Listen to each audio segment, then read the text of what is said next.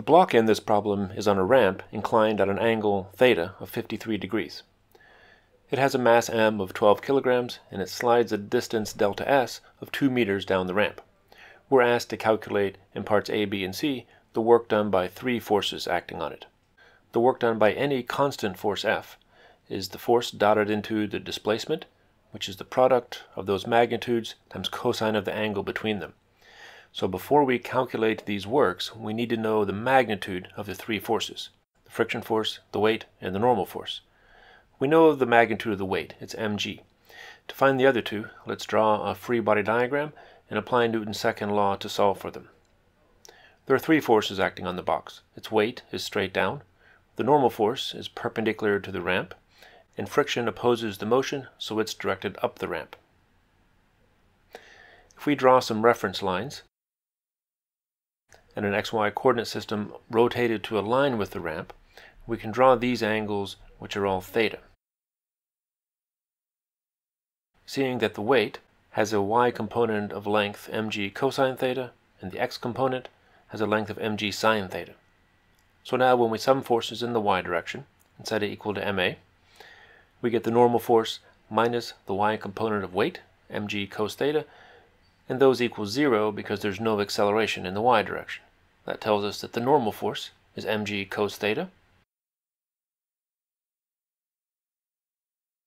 And the kinetic friction force then, mu sub k times n, is mu k mg cos theta.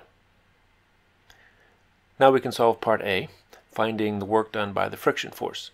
It's the magnitude of the force times the magnitude of the displacement times the cosine of the angle between those two things.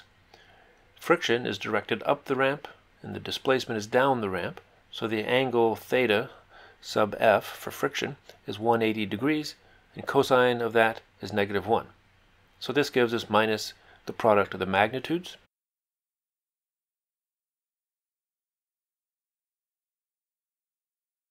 After substituting numbers,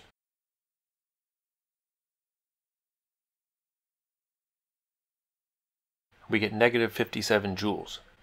Negative because the force and the displacement are in opposite directions. Part B asks for the work done by gravity, or the weight, that's mg times delta s times cosine of the angle between the weight and the displacement. The weight is straight down, so we're looking for this angle that I'll draw in red, phi sub w. Noticing that this is a right angle, we can calculate the angle phi for the weight vector to be 37 degrees. When we substitute numbers now and calculate, we find that the work done by weight is 188 joules. It's positive because the weight is down and the block is sliding down the ramp. Part C asks us for the work done by the normal force. I'll draw that here in green. Notice that it is perpendicular to the displacement. So when we write the work, it's the magnitude of the normal force times the magnitude of the displacement times cosine of that angle, which is 90 degrees, and cosine of 90 is 0 so there's no work done by the normal force. Part D asks for the net work done on the box. The net work is the sum of all the individual works.